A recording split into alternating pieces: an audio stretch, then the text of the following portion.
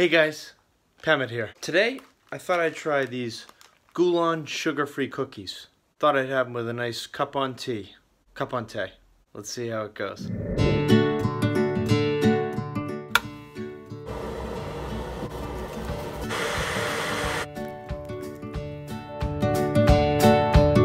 Alright, so we got our uh, sugar-free Gullóns here.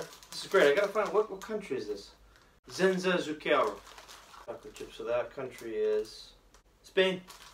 So I gotta work on my pronunciation better there. Senza zucchero. Probably sounded the same as uh, what I just said. There's nothing better than having a cup of uh, Barry's tea. Oh, it's excellent.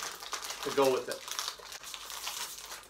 It's cool. I found these uh, in, in Iceland, and I've been I've been looking for kind of a more sugar-free desserts or just sugar-free anything to, because you know I, I, I like my my desserts or my the sweets or candy or whatever. So if you can find sugar-free stuff, I guess you, you won't feel as bad eating them. I guess that's how I uh, that's how I look at it. So anyways, we're gonna uh, give them a shot. Look like uh, regular chocolate chip cookies. I'm wondering if they're uh, lower calories or sugar-free because they're smaller. I, I don't know that. I'm not saying that's the reason, but all right, here we go.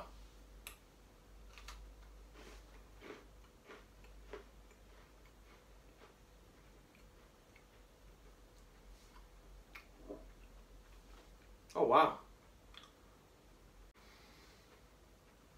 Kind of a coconutty feel. There's a chocolate chip cookie, like a Chips Ahoy chocolate chip cookie with a coconut feel.